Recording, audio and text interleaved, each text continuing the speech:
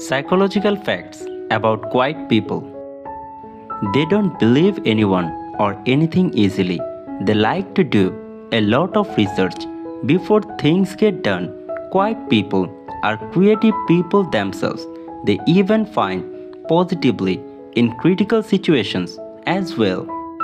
Quiet people make decisions intuitively. Such people listen to their inner voice. Quiet people never put themselves in a position to choose the wrong path by rushing a decision. They don't indulge themselves in gossip. It's not their cup of tea to talk about irrelevant things. Quiet people enjoy solitude. They know can count on them if you are an introvert. You prefer quality over quantity. Therefore, quiet person networking is still possible. The difference between networking with introverts and silent people. Quiet people are indeed mysterious. They don't talk as intensely as other people do. They think a lot. In fact, they always think before responding or answering questions.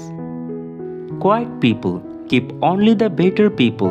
Introverts are likely more selective in social circles. They don't mind having only a few friends and confidence. They are keen observers and thinkers. They can sense the environment and quiet people around them and connect with quiet people in a deeper way.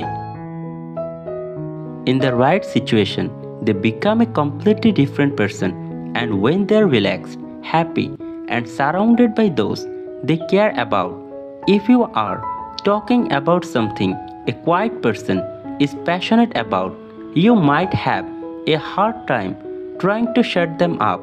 They can be the life of the party.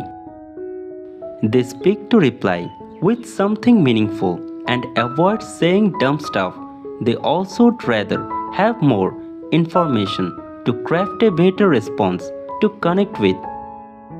The quiet ones are the most dangerous. Silent people can harm you or put you down in some way by keeping your silence and elusiveness you ensure that they never get to have such a chance although there is no guaranteed safety from tragic attacks and insults